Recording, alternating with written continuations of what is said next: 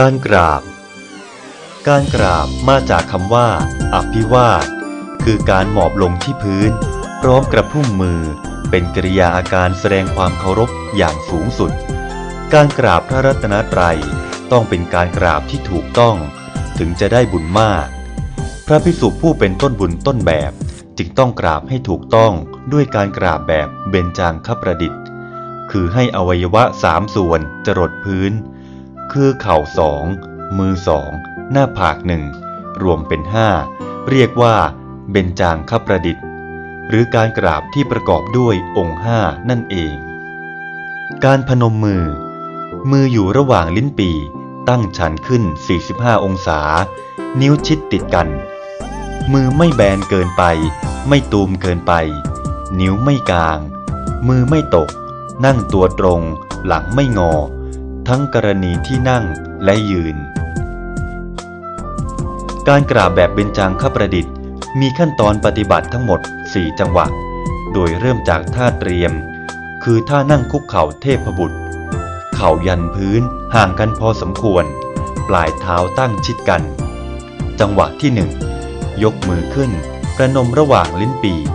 นิ้วชิดติดกัน มือไม่ตก จังหวะที่สองยกมือประนมขึ้น นิ้วหัวแม่มือจรดระหว่างคิ้ว นิ้วชี้จรดตีนผม ก้มศีรษะเล็กน้อย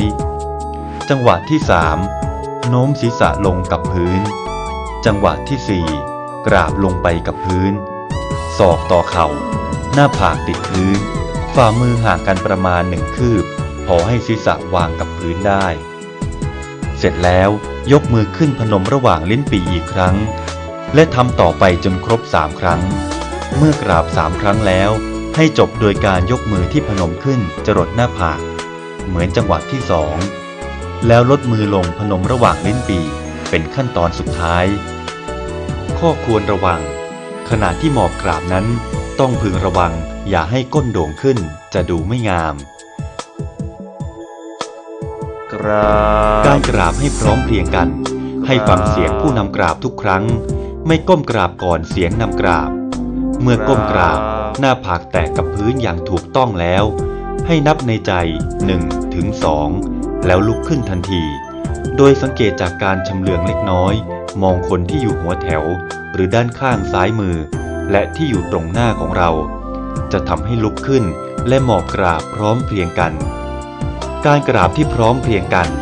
นอกจากจะทำให้บรรยากาศเต็มไปด้วยความศักดิ์สิทธิ์เป็นระเบียบเรียบร้อยแล้ว ยังนำมาซึ่งความเลื่อมใส แก่บุคคลผู้ยังไม่เลื่อมใส และยังความเลื่อมใสให้มากขึ้น แก่บุคคลผู้เลื่อมใสแล้ว ทั้งยังเป็นต้นบุญต้นแบบที่ดีงาม แก่สาธุชนผู้มาในภายหลังอีกด้วย สุขขาสังคสะสามัคคี ความพร้อมเพียงของหมู่ทำให้เกิดสุข